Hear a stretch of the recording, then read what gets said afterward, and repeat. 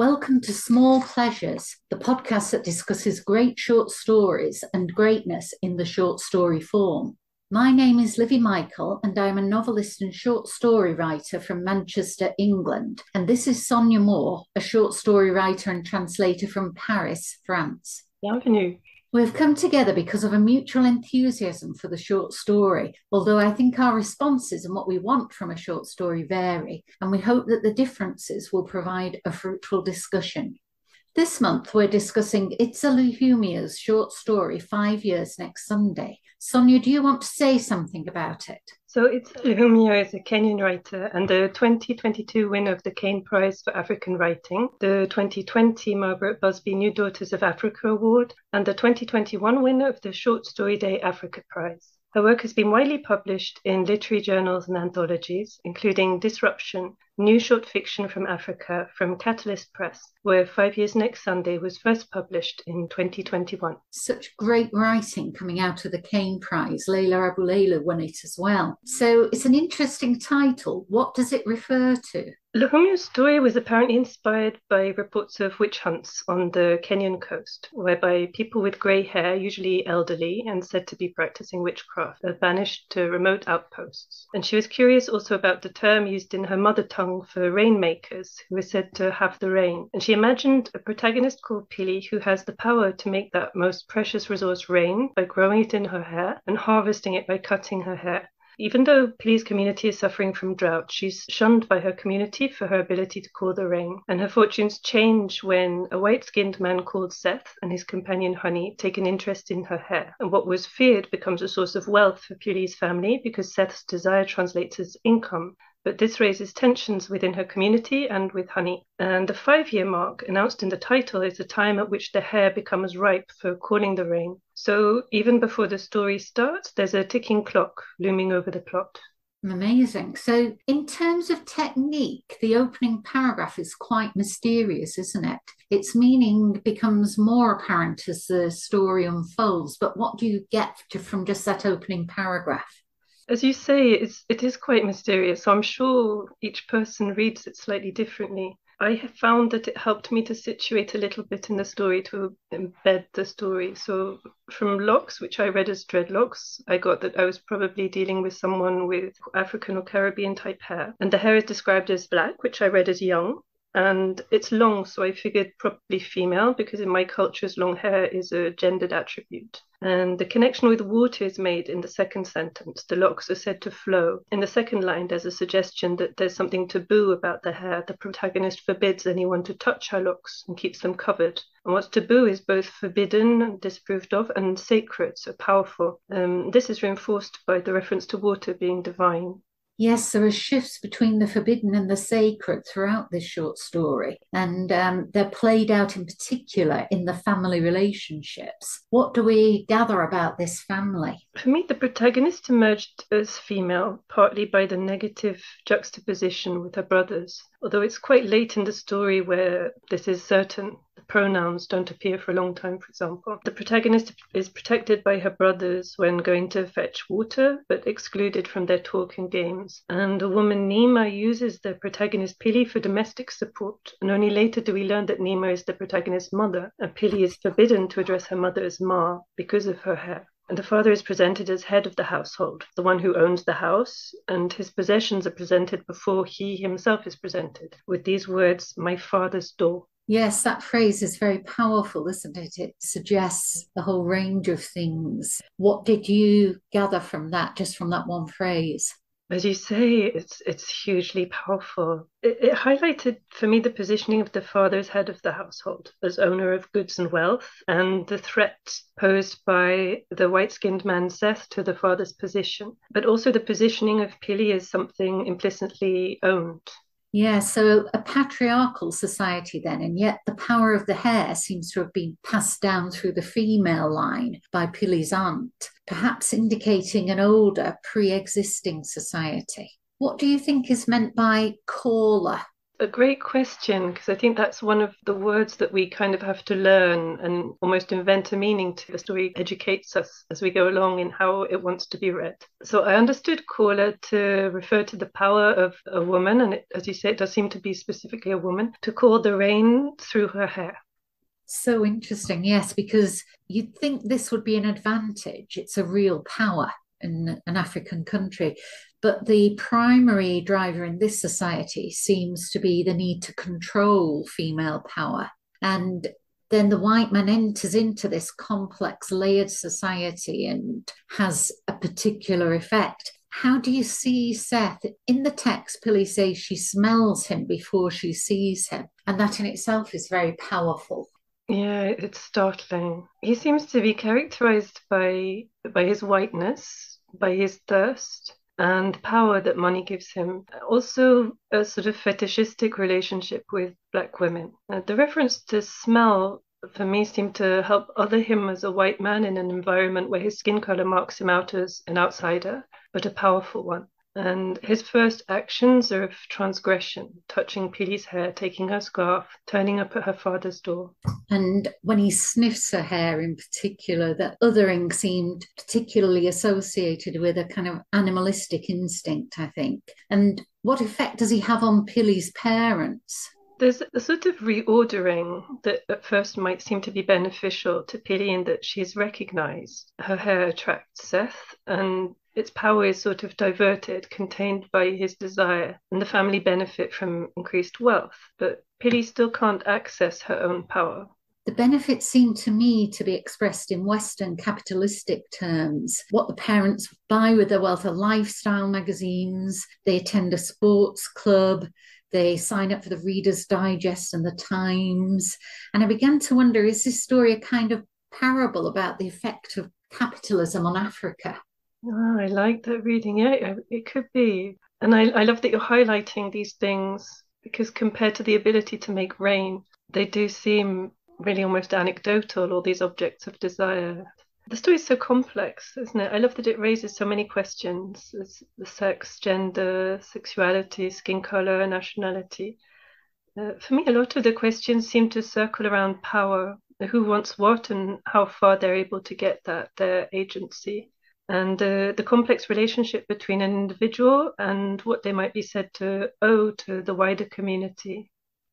Yes, it reminds me of the work of Ferdinand de Saussure into semiotics, his work on the signifier and the signified, which are the two main components of a sign.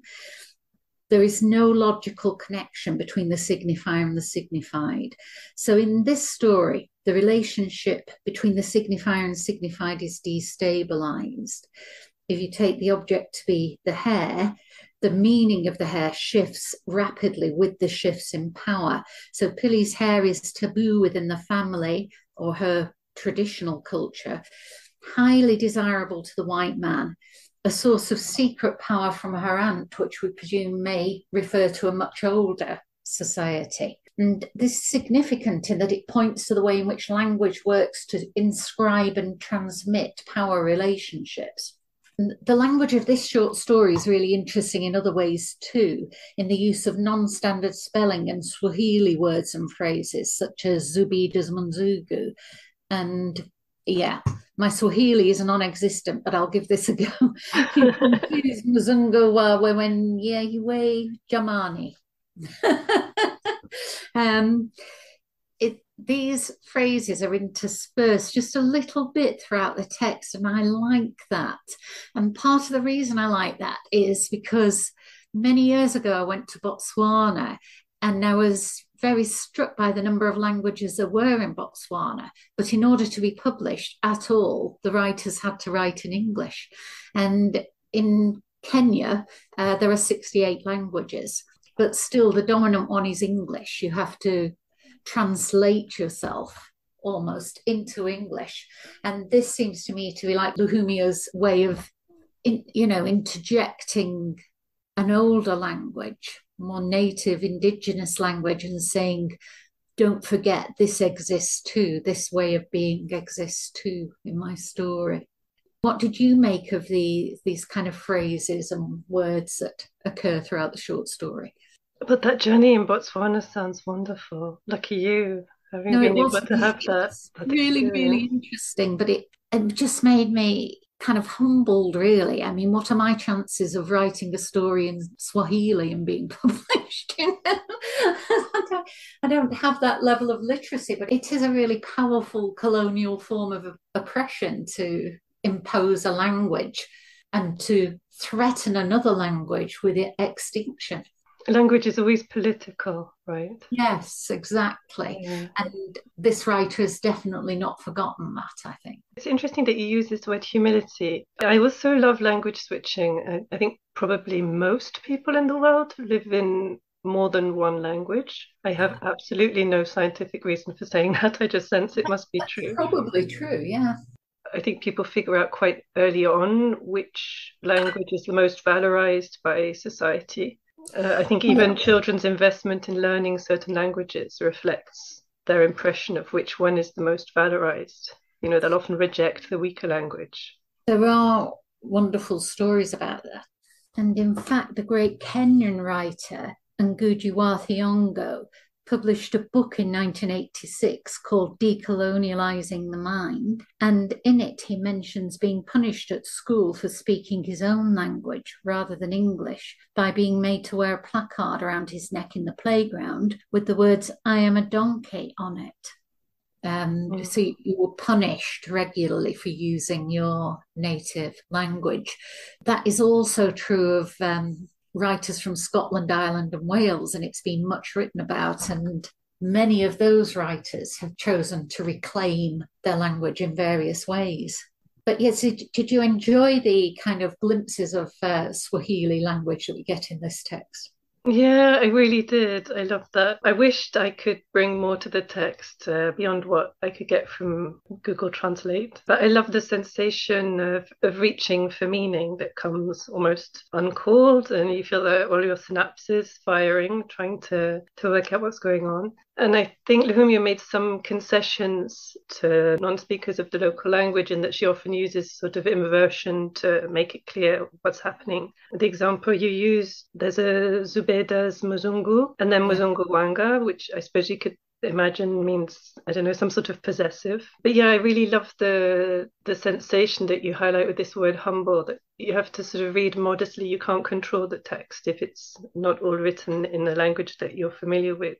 That is a lovely way of putting it. I like that. Read modestly, and you can't fully control the text. I think that's right. I mean, do you do that in your own work? Do you switch between French and English? I do, yes, very often. Um, and I tend to write in English, and I suppose that reflects also that there are more opportunities for me, at least in that mm. that area. Uh, I've started writing in French, but it tends to be more intimate writing, like journaling, uh, dream diaries, that sort of thing. Public yes. writing is in English. yes, but that, that is regularly true. So maybe it adds a, a certain layer of intimacy to this story. And certainly it's um, the shopkeeper who uses it initially, and we feel that those people are in a world known to themselves, you know, a kind of more intimate world that they know that is being translated for us in the story. But it, it seems to me to add an extra layer and extra depth what we're saying about this story is it presents a multi-layered kind of portrayal of Africa and of family relationships and of the narrator herself. And while we're on the theme of language, there seems definitely to be a naming theme that runs throughout the story. I looked up the name Pili, which seems to mean second born, but there was also a second meaning offered of miraculous. Seth, Seth was a son of Adam. I haven't quite worked out what that might mean, except that Pili says when she first meets him that he didn't look like a Seth, which is interesting. I can't remember my biblical knowledge is, is reduced these days what Seth actually did in the Bible. Cain and Abel are the famous children of Adam and Eve, and one murders the other. And Seth is kind of sent along to heal the grief in a way, the third son, I think. And then there is Seth's companion who's called Honey. What do you make of her? Yeah, it's interesting that you pick up on this this question of naming. Thinking about the gap between signifier and signified, I'm not always sure of the randomness of the signifier, in that I think this um, this connection you're making it reveals the connectedness of words to meaning mm-hmm. and the very rich and varied complex roots each word has. I was um, inspired by you digging around in the word pili. I went to look at the word Seth on the name oh. Seth. I found it could also be related to an Egyptian god of chaos and the deserts. Ah, which perhaps okay. relates to the themes. Yes, so again, in one culture, it would have one set of meanings, but in another, a very similar name has an entirely different set of meanings. Yes. Yeah, and it's impossible to know really which ones mm. are intended. Mm. And even if they're intended, it doesn't cancel out the others. Yes. Um, and I was thinking also about the universalness of some things. I think hair is often a gendered attribute, certainly in Western Europe. A lot of fairy tales connect with questions of hair and females with long hair think there's one story about Rapunzel, for example. Yes, it was always a sign of, uh, I think, desirability um, in the fairy tale. I mean, the one we have from the Bible that I can think of has to do with uh, Samson and strength, and there the hair is cut by the woman Delilah to rob him of his strength. But it's the same association of hair of power, isn't it? Yeah, there's hair and power. Also, I think there's a sort of um, there's sexual connotations for women. Yes. Uh, is it Mary Magdalene who wipes? Oh yes. You with her hair. Yes, wipes. And, and even very recently, my my grandmother had to keep her hair covered when she went into a church. That um, that is very true, isn't it? You know, we think of that as uh, Middle Eastern, but it was also very much Western and Christian that you kept your hair covered in church and even if it wasn't fully covered, the tradition that women wore a hat in church and men didn't, that was very, I think that's st- still going really. Mm. Yeah, yeah, it's certainly within living memory, right?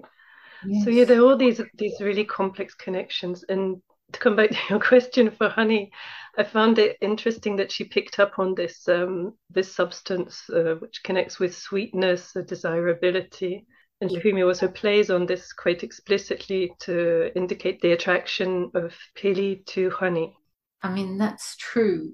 Um, she isn't described initially as desirable. I think you pick up on the idea of her seeming both sad and childlike. At perhaps first, yeah. Very dependent, isn't she? Yeah, there's a, a sense that they're sort of similar in that they're both disenfranchised.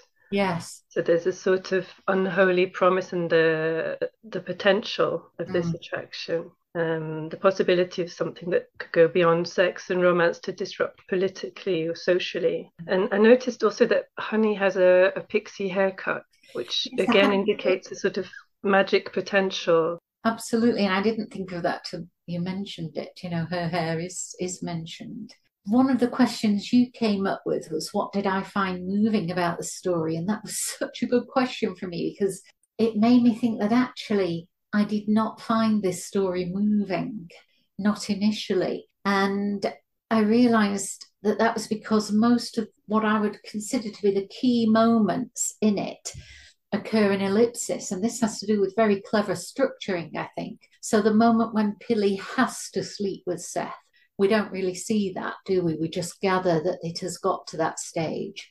The development of, of her attraction to honey, uh, that's not really spelled out. And the long period of deprivation in her childhood, where she was almost outcast or untouchable, we don't see any of that. The, so this this use of ellipsis seems to me to focus the attention on the political layering of language and the gendered position of women in that society. It's, it's like kind of more philosophical and intellectual approach. All of them connected by the hair, which is a kind of symbolic feature, which made me think a little bit of Beloved by Toni Morrison, where the beloved of the title is uh, a black woman who was killed as a child but who returns. And, and she becomes symbolic but really kind of also physically present throughout the story. Why do you think that we only gather gradually that the relationship with seth is is sexual well i got something a little bit different around that i got that the relationship was sexual from the start at least in in seth's intention He's introduced as belonging to a local woman, and though claimed as hers, I understood the relationship to be dependent on his attraction to her.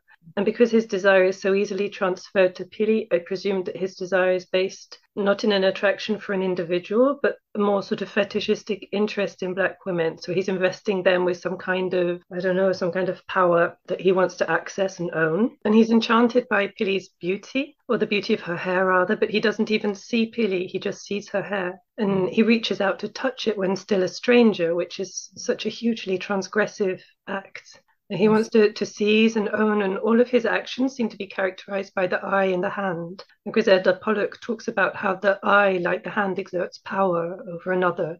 I agree. There's yes, very very clever um, use of ellipsis also. But for me, the the sexual aspect was built in from from the start. I mean, I can see what you mean. I don't think we doubt what Seth's motivations are or his interest in Pili is. But you can imagine an entirely different kind of story where this young girl has to go to his door and he opens it. And this is the first night that she has to bring herself to sleep with this man for whom she has no attraction whatsoever. She doesn't do any of that. And I find that very interesting. And similarly, it comes bang in the middle of the story. Seth is saying, No, you don't like me. You like honey. And that was kind of startling for me. I, I hadn't picked up on that at all to that point. So it's, it's another ellipsis, the growth of the attraction. What what's the effect of this, do you think? Yeah, it's, it's such a brilliant line, that one, isn't it? It really yeah. shifts the story forward. I felt uh, an attraction to Honey also from the start, but yeah, that line really jolted me to the next step in the story. It's a brilliant way also of highlighting the lack of agency of this character in some respects. It's not her own desire that's moving things forward. And that line highlighted for me the seditious attraction between Honey and Pili. They're both caught in a system where they're more controlled than controlling and valorized through their relationship to men. And the build is reinforced by that musing again on Honey's name, the stickiness of it, its sweetness, how it never goes bad, mm. which foreshadows the end to a certain extent also. Well, it does. And I like your word fetishistic because there is that room that's full of images of black women and it's described as if lined with skin. Yeah. Like the game hunter with. Yeah. yeah. I had the same image pop up. Yeah. The big yeah. game hunters with their trophies. And just to get back, there's one kind of magic through Pili's hair but another kind of ritual that is mentioned, which is the ritual of fire. And it's mentioned before the end and then at the end. What did you understand by the ritual of fire? This may be a projection of my own cultural references, but for me, it was a sort of witch trial. I understood that if ever Pili accesses her power, then she'll be outcast as a witch. And there's a connection in my mind also between fire and water, because they're opposing forces. That is true. Yeah. I think it's not exactly spelled out what the ritual would involve. There is stripping and burning, but it's certainly reminiscent of our old custom of burning women at the stake, which again is rooted in an absolute fear of female power this takes us kind of towards the end of the story. And it's an interesting ending, isn't it? Very interesting. The idea of this ritual comes back that how do we get there? How do we get to the end of the story? That's a really great point to highlight because one of the remarkable things about this story is that Pili actually tells us what will happen she's betrayed by Honey into cutting her hair, and then the, the sort of witch hunt that Pili has predicted manifests.